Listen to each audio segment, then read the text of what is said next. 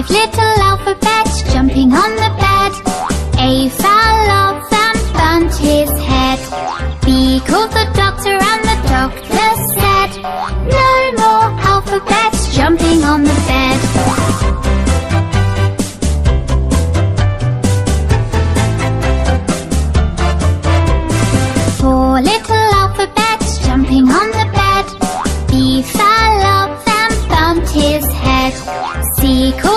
Doctor and the doctor said No more alphabets jumping on the bed.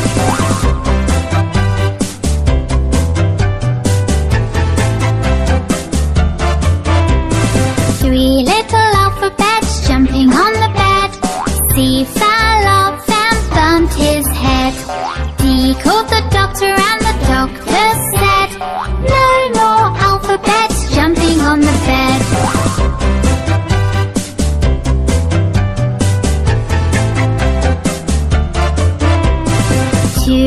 Two little alphabets jumping on the bed D fell off and bumped his head. E called